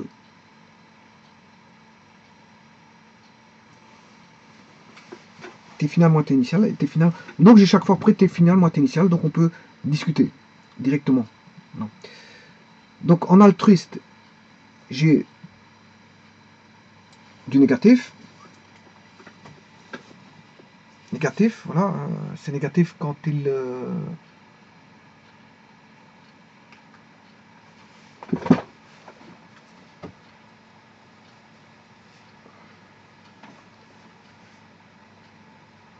quand il reçoit, c'est négatif, mais quand il donne, c'est c'est positif. A, on, a, dans une convention altruiste, on a pris TF moins TI. TF, c'est positif pour l'eau froide. Donc, positif, pour avoir du négatif, il faut mettre du négatif. Pour l'altruiste, il faut du négatif pour l'eau froide. Bon, je vais chercher l'altruiste. Pour l'eau froide. L'altruiste, c'est négatif. Bon, c'est bien négatif, c'est juste. Donc c'est bon. Pour l'altruiste ici, c'est bon. Euh, voyons voir pour l'altruiste euh, et l'eau chaude. Donc on a T final. T final, c'est température d'équilibre, moins température initiale d'eau chaude. Or, la température initiale d'eau chaude est toujours plus grande que la température finale. C'est négatif. C'est négatif. Or, ici, on a plus delta Q2 qui doit être négatif. Or, on a déjà du négatif ici, c'est positif, donc tout est bon. Pour l'altruiste, c'est bon. Pour la convention altruiste, c'est bon. Donc c'est bien. Plus pour l'eau chaude et moins pour l'eau froide. Bon, maintenant, pour l'égoïste, je prends la convention égoïste. Voilà, la convention égoïste. Je vais tout effacer ce qui est altruiste.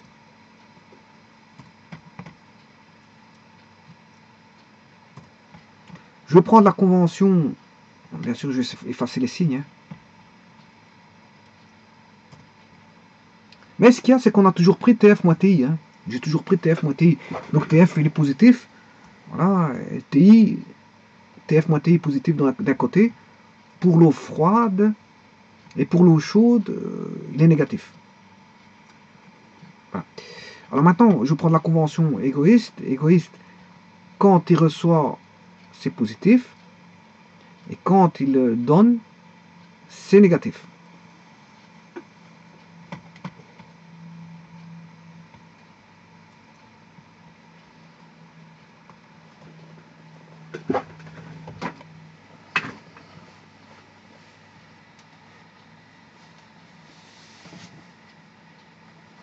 Bon, positif, mais le delta t, c'est le dire positif. Donc pour avoir du positif, il suffit de mettre du positif ici. Donc là, je dois avoir du... Comme il est négatif, pour avoir du positif, il faut que ceci soit positif.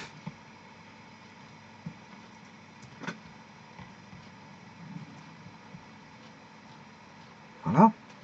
Ceci doit être positif. Mais comme il est négatif ici, je dois mettre un moins là. Donc en convention égoïste, c'est plus pour... Euh, ben ça suit les signes, ça suit les signes ici. Plus, plus et moins, moins. Voilà, allons faire ça en convention égoïste, mais j'aurai moins, moins et plus, plus, donc c'est juste. Voilà.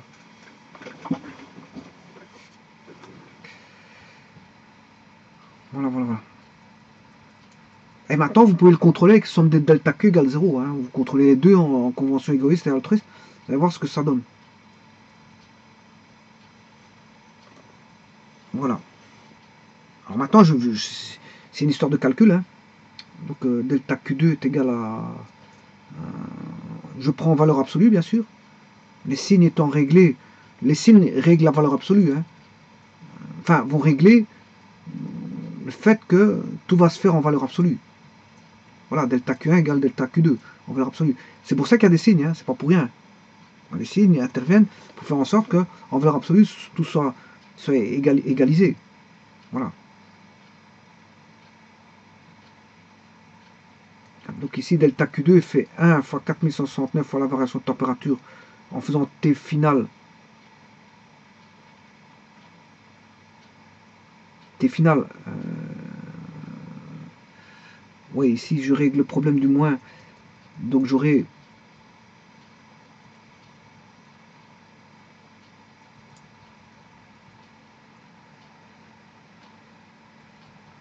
En tout cas, je calcule la masse fois le C0 fois ici T final moins T initial moins T final.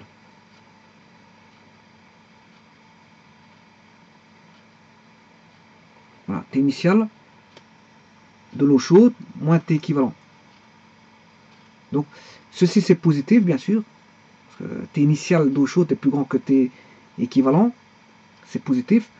Donc, le calcul ici, delta Q2 est positif. Hein.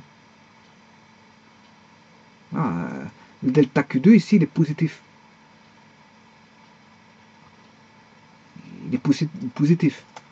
Alors, ici, si je fais celui-là, 3 fois 4169 fois T équivalent moins T initial d'eau froide, c'est positif.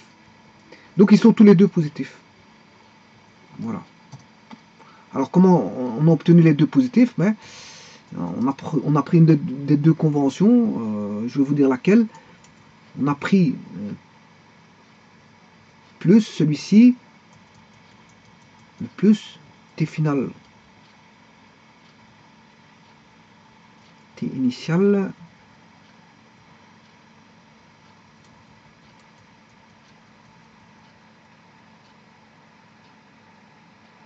Voilà, on a pris le, ce moins-là, le moins-là, mais c'est devenu T initial eau chaude moins T équivalent. on a fait juste l'opposé de celui-là. Je prends, avec le moins là, je prends l'opposé de celui-ci. Et donc j'obtiens ça. Et donc là, je peux mettre un plus. Voilà. Et pour l'autre, ben, je garde le plus là, le plus ici, mais je garde ceci. Je, je ne prends pas d'opposé. Donc là, maintenant, tout, tout est revenu à, la normale, si vous voulez. Voilà. Donc j'aurais pris la convention à partir de la convention égoïste, mais je peux le faire à partir de la convention altruiste. Hein, je vais trouver la même chose. Hein. À partir de la convention altruiste, là j'ai T initial moins T équivalent.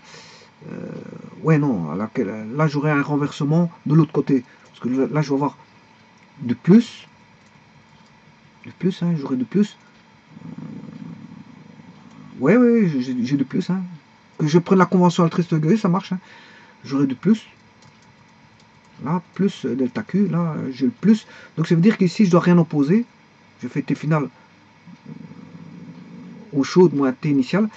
Et là, j'aurai moins, mais alors je dois opposer celui-ci. Ce qui fera T initial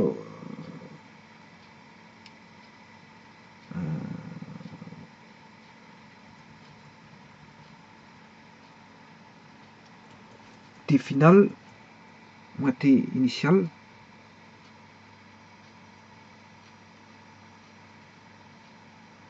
Oui, c'est ça, c'est bon, c'est bon. Enfin, j'ai rien dit. Bon, donc ici, c'est plus, c'est plus, donc c'est pour égaler. Voilà. Bon, une fois que vous avez fait ça, bon, c'est pour vous expliquer les conventions ici, hein, c'est rien d'autre. Hein. parce que le calcul, il se fait en 5 minutes. Hein. Je vous explique ici comment, pour faire pour euh, jongler avec toutes les... C'est pour ça que je, vois ça, mais le calcul il, se fait en 5 minutes. Hein. N'allez pas croire que ça prend une heure pour, faire, pour réfléchir à tout ça. Voilà. Et là j'égale les deux, je fais une équation. Euh, Voilà.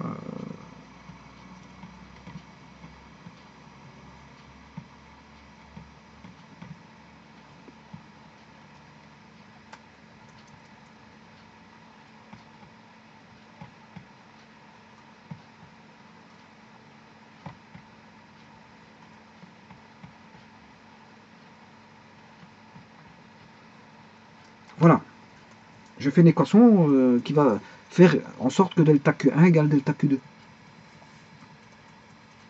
Voilà. Donc ceci, c'est euh, l'équation de l'eau chaude. Et une fois, ça c'est l'eau froide. Non, l'eau chaude, je m'excuse. Une fois 4169, c'est l'équation là, hein, c'est delta Q2 ici. Voilà, qui est là. Voilà. Et ça, c'est l'équation à droite qui est 3 fois euh, celui-ci. 3 fois 4169. 4169.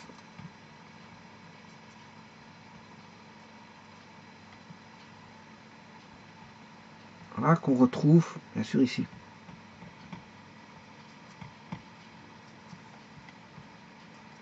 Voilà. T équivalent moins T initial eau froide. Alors, une fois ceci, ben, le 1 il tombe, fatalement. Et je fais directement 3 fois 4169 qui fait 12507.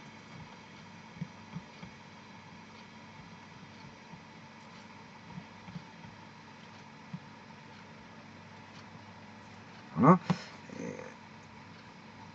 Donc je, distribue le T équivalent. «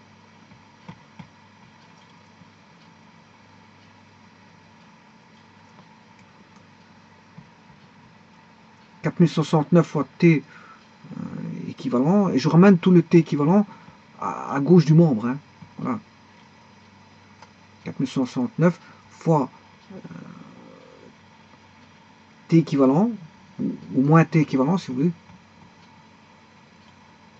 Voilà. C'est juste euh, une distributivité, c'est rien de plus. Hein. Ça, vous, êtes capable de le faire. Par contre, on a 4169 fois T initial eau chaude. Bon, il va passer de l'autre côté.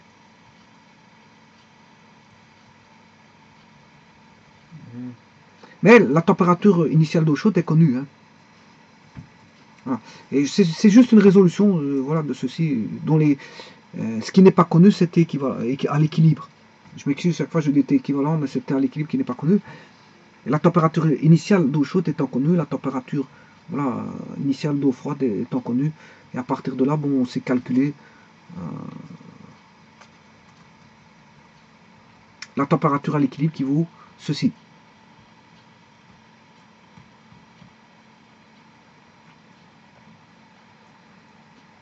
Bon, cette vidéo n'avait pas... Je sais pas vous expliquer tout ça parce que c'était pour jongler. Comment peut-on jongler avec les, conventions C'est juste ça parce que bon, euh, l'exercice il se fait en 5 minutes. Hein, bon, je vous le dis tout de suite. Hein. Euh, n'allez pas croire qu'il prend une heure comme ici.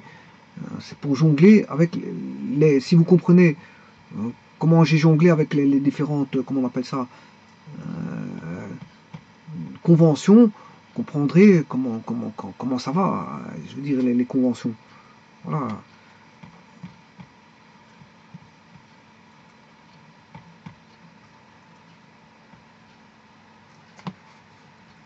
Alors, je vous disais que si vous voulez résoudre ce problème en deux temps, deux mouvements, je vais vous montrer comment on fait. Ça prend même deux secondes pour le faire. Je vais vous montrer ceci était une vidéo juste pour vous montrer. Encore une fois, je me répète, les conventions, c'est juste ça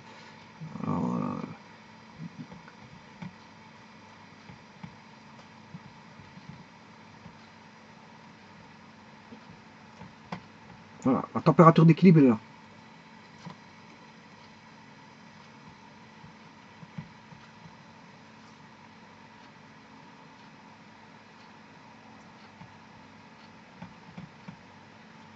30 degrés. Alors je vais le faire par une deuxième méthode, très rapide.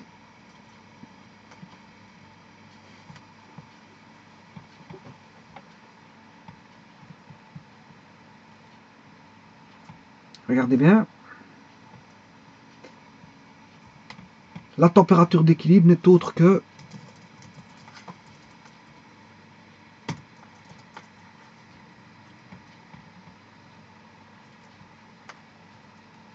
la masse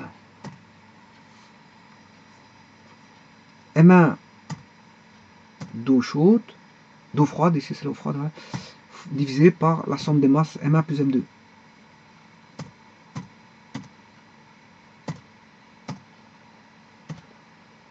Voilà. Fois bien sûr T1 plus.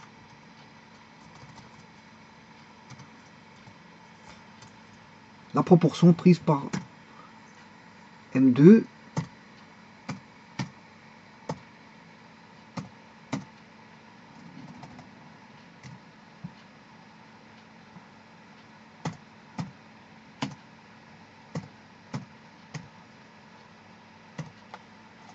sur faute de.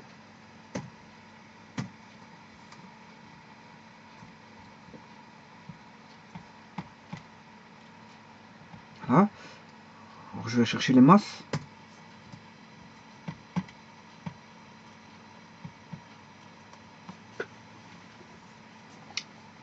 La masse, euh, ben, c'est la masse d'eau froide, c'est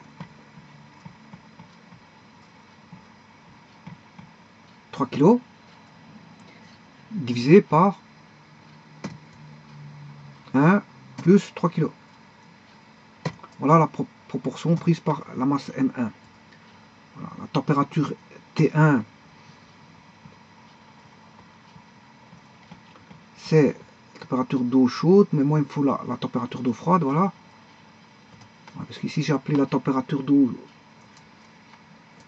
chaude. J'ai parlé d'abord de la température d'eau chaude, mais en fait, pour moi, T1, c'est la température d'eau froide. Mais ici, il a été appelé dans l'énoncé T1, parce que c'est la première qui venait en premier lieu. Voilà. Vous voyez qu'ici, j'ai appelé delta Q1, c'est ce qui était froid. Tout ce qui était l'état 1, c'était froid. Voilà. Mais c'est vrai qu'ici, dans l'énoncé, T1, c'est la température d'eau chaude. Mais ici, je vais considérer que T1, c'est la température d'eau froide et non pas chaude. Alors pour ça, je vais l'appeler euh, T froid, température froide. Voilà, pour éviter un, amalgame avec l'énoncé et température chaude. Voilà. Celui-ci, j'ai même pas besoin de le calculer, il suffit de faire 1 moins 0,75. je l'ai directement. On va chercher la température d'eau chaude.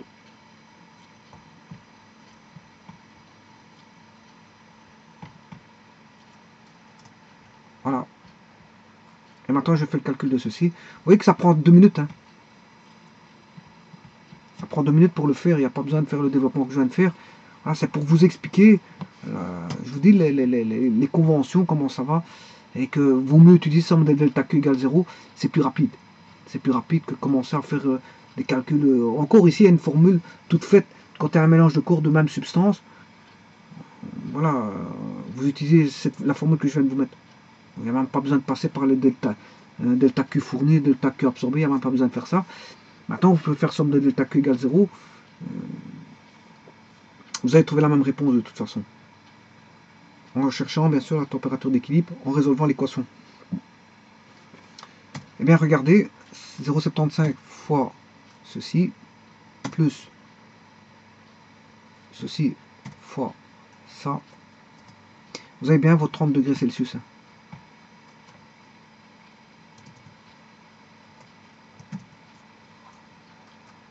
Vous voyez que euh, m'a fallu combien de temps pour faire ça? Ben, Deux minutes. Hein.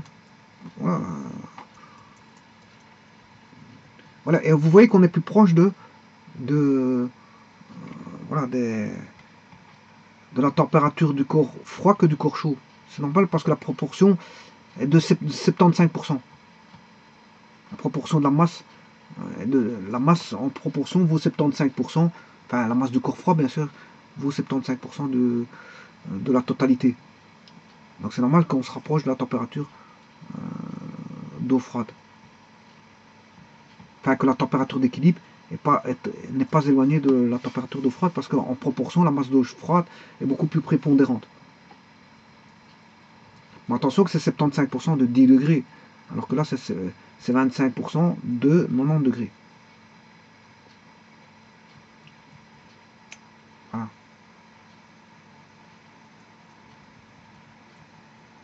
Bon, et ben, non, 75% de, de 10, si vous voulez savoir les, proportions exactes que ça, ça prend, lui va intervenir voilà, pour 7,5.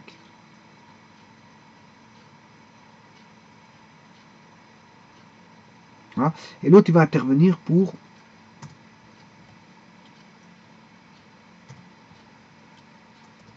voilà, 22,5. Mais 22,5, ben, on ne surpasse pas, on surpasse pas, je veux dire, un, quota qui est euh, voilà, qui, est 45 degrés. On ne dépasse pas les 45 degrés, c'est ça. Tant qu'on n'a pas dépassé la moitié des 45 degrés, ben,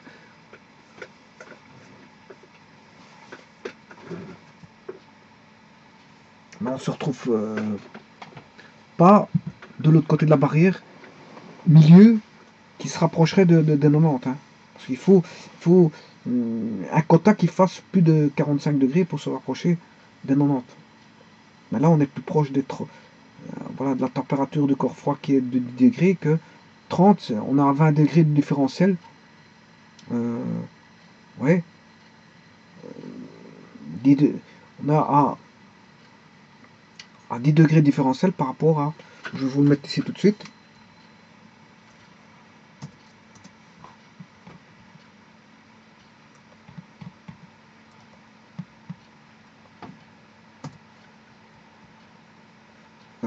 Par rapport aux 10 degrés,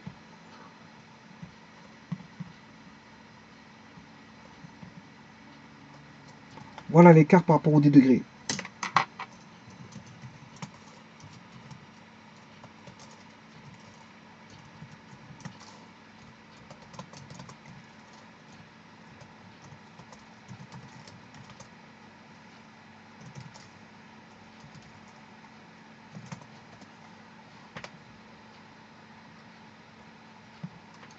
Si vous voulez l'écart par rapport à la température d'eau chaude,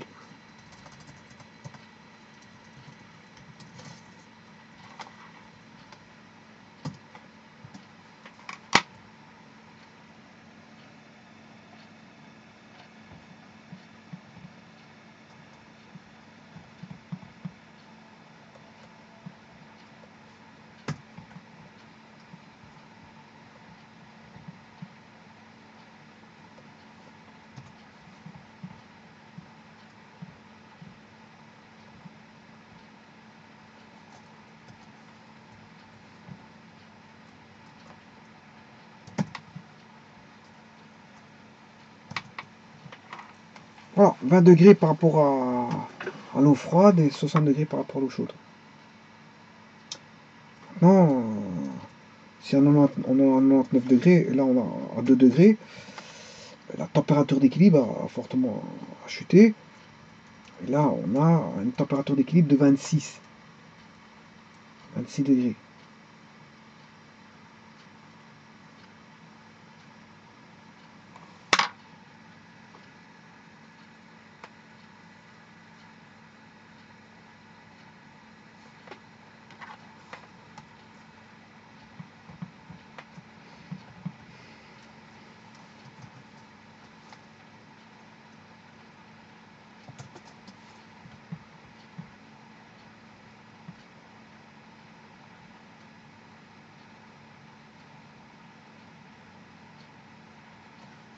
Voilà, je vous remercie beaucoup.